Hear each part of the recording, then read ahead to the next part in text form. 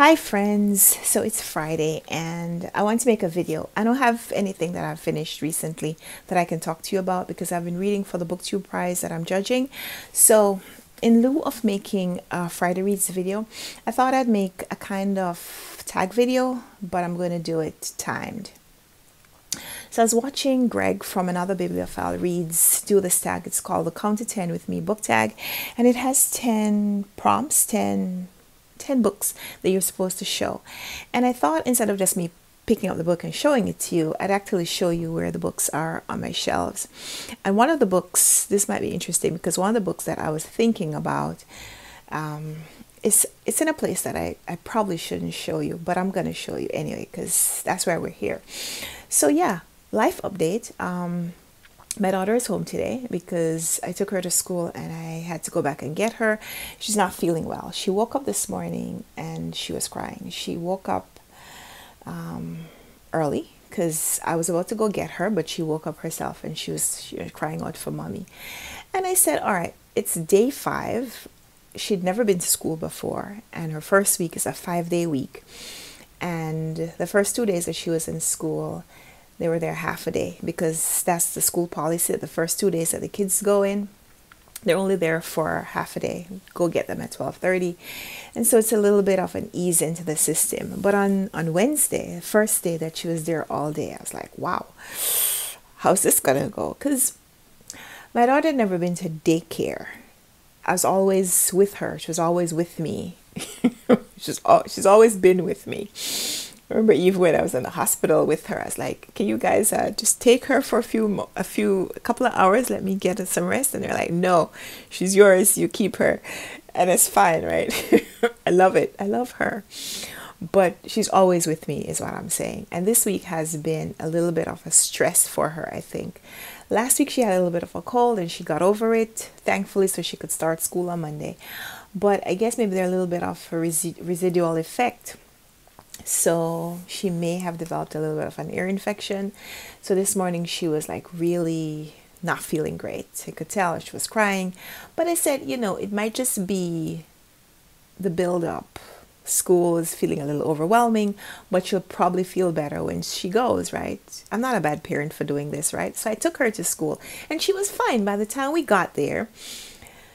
By the time we got there, she was fine took it took they took her temperature because that's one of the things that they do i guess post covid when we get there they take her temperature they take mine and they let us go to her classroom. She got settled in. She took out the toys. She started playing. She was fine. She did ask me to stay but it's like i can't stay. I didn't want to disrupt the program so i left.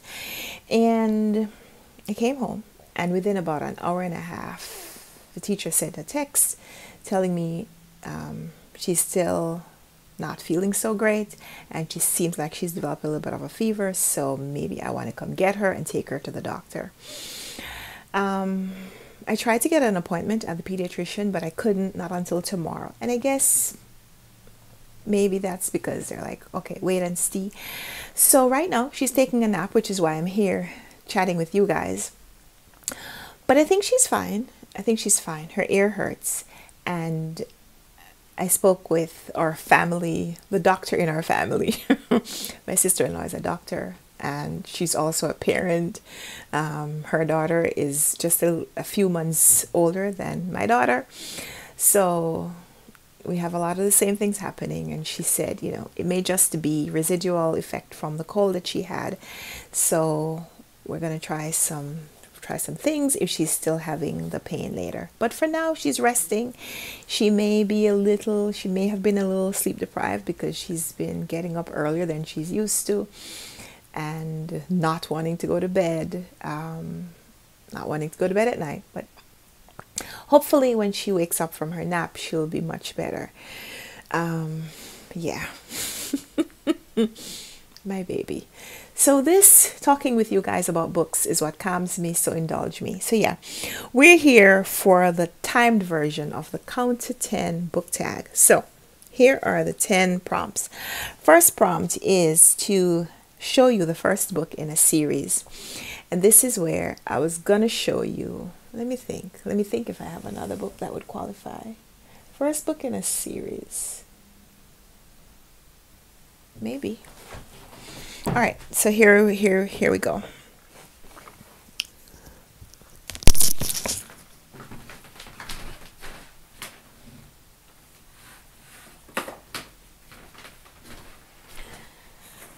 Laura gave me these books. We read we read one of them for the Runwright Reads book club last oh yeah, here it is. This is the first in the series.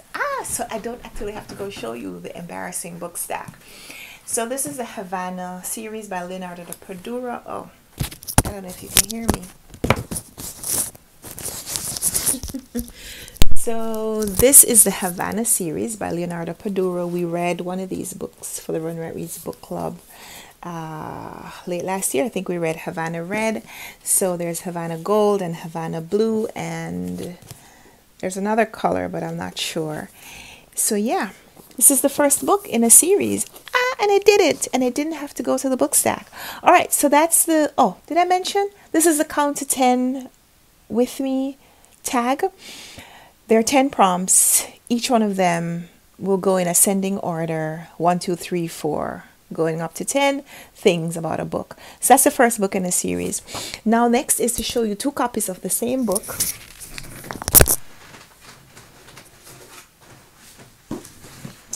Two copies of the same book. I have I have two copies of Jojo Moyes' Me Before You. I bought this one when it was first released. I really enjoyed it. And when the author came to do a book signing to promote the movie adaptation of the book, I met her as well as the actress. Um, what was her name?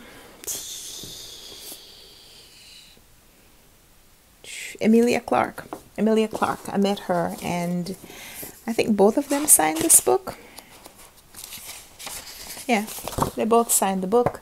So that's why I still have two copies of this book. I really enjoyed this first book. Oh, this is also the first book in a series. Um, I mean, yeah, it is a series. Jojo Moyes. She wrote Me Before You. She wrote After You. She wrote Still Me. Those are three books in this series. So yeah, look at me having books in series. I don't read a lot of series, although I should say I just posted a picture on my Instagram today where I'm reading. My current read is, well, one of my current reads is Anything is Possible by Elizabeth Strout, and that is more of the Lucy Barton series. Elizabeth Strout wrote Olive Kitteridge, which also has a series, um, but I didn't realize that there were more of the Lucy Barton books. So I started reading Anything is Possible just because I wanted to read more from this author, and then I'm finding out that here's Lucy Barton as a character in this book as well. So yeah, books and series, look at me. So that was prompt one and prompt two. Here is prompt three. Oh, I said I was going to time this right, but yeah. Uh, I can't. Um, next is three colors on the cover. All right, so I have a book right here that's just on the table that has a lot of colors. This has, this lady is wearing a lot of things and there are flowers in the background. So there's, there are lots of colors on that cover. So let's go with that. Next, oh, and this is the Portrait of a Lady by Henry James, which I pulled out because I bought this copy a few months ago and I'm considering reading it for Victober. But man, this print is really small. But I also think it may be a little bit manageable because maybe I just convinced myself of that because I wanted to buy another book in this same series. More on that in an upcoming video where I talk about my Victober uh, plans. So, yeah, prompt number four is four or more perspectives in a book. Four or more perspectives. Um, I'm going to say, okay, Small Island does that. Small Island does that, right? We get perspectives from Gilbert, from Hortense, and more of Gilbert. Let me see.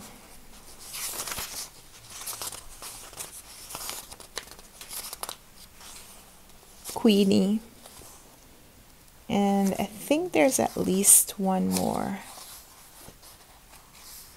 Bernard, yeah. So Small Island by Andrea Levy has at least four perspectives, reading from the viewpoint of all these different characters and seeing a little bit more of the backstory of why this book is as hilarious as it is. Patrice, Doris, and Heidi, I owe you guys a check in. Like, we were kind of buddy reading this book um, in June, and I just kind of disappeared on the group chat. I- I'm sorry, guys. I'm using this as my way to profoundly and sincerely apologize for disappearing. There was just a lot happening. Forgive me. Forgive me. Caribathon kind of took over in June, and a lot of the other things that I planned to do, like actually check in with my friends on buddy reads, didn't happen. But yeah, thanks you guys for continuing to be my friend, even though I flaked.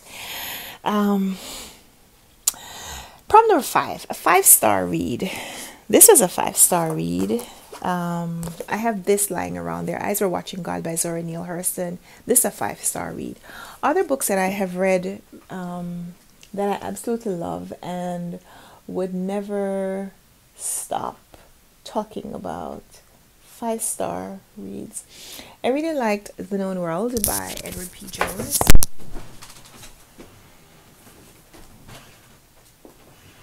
I read this a few years back. Did a buddy read of this with a group on Voxer, and it was fantastic. The Known World by Edward P. Jones. Really, really loved this. Another book that I would say is a five star read was one of my favorite books from last year. One of my favorite nonfiction books was this book, Her Honor by Doris Hazzard Cordell. This is a memoir of a woman who was a judge, California Superior Court, and she was the first black woman to serve in this capacity. And this was a little bit about her life on the bench, some of the cases that were interesting, standout cases in her in her experience, and a little bit of what she continues to work on as an activist even after she retired from from the judge from being a judge. So yeah, this was a five-star read for sure and I'd love more people to check this book out. Really would. Then prompt number six, six or more short stories. Short stories. Do I have a short story collection over here? Yeah, for sure. Short story collection, one of my favorites of all time, Interpreter of Maladies by Jhumpa Lahiri. This won her the Pulitzer.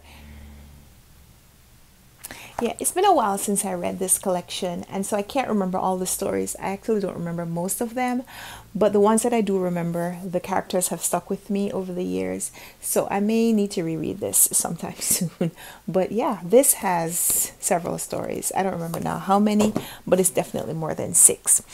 Seven on the cover, a book with the number seven on the cover. I may need, oh, okay. So I didn't even have to move. I mean, it has the word seven, not the letter or, or, the number, the numeral. It doesn't have the numeral seven, but it has the word seven. Brief History of Seven Killings by Marlon James. This, of course, won Marlon James the Booker Prize, and he was the first Jamaican man to do so. This happened in 2015, and we're hoping that me, I'll be the next Jamaican to win the Booker, the first Jamaican woman. Wouldn't that be something? More on that later. Problem number eight. Eight letters in the title. Okay, um, let's think about that. Okay, this has eight letters in the title. Wolf Hall by Hilary Mantel. Do I have to pull this down? W O L F H A L L. Wolf Hall. Eight letters in the title. Um, I'm being lazy by not picking it up, but you, you could see it. Problem number nine. Book where the page last. Problem number nine the book ends on a page number that ends in the number nine. All right. So let's see if we could find one. Yeah. This ends on 229. First book I picked up. The last numbered page. Now, that's a little bit weird because, you know, there's acknowledgments and the author page behind that. And when you go on Goodreads or you go on Amazon, um, when you go on the online links to this book, you'll see that the number, the page number online usually has way more pages than the numbers that are in the book. But for the purpose of this experiment, the last numbered page in this book is 229. There we go. 229. So that's that's that prompt. And the last prompt, 10 books in the series. Okay. Um I don't have any of those like chapter books up here, do I? I don't think so. 10 books in the series, but my husband, this is my husband's shelf on this side, even though I've claimed most of it, but but yeah, he has some Hardy Boys books, and there are lots of books in the series. Like you can see, this one here is number 44. So that's my response to the Count to 10 with me book tag. I hope you enjoyed this video. A little bit of a chat, a little bit of just like hanging out with me on a day where I need a little bit of book therapy. So yeah, I hope you enjoyed this video and until we come back with another one. Happy reading, enjoy your books, happy weekend, happy everything. Bye.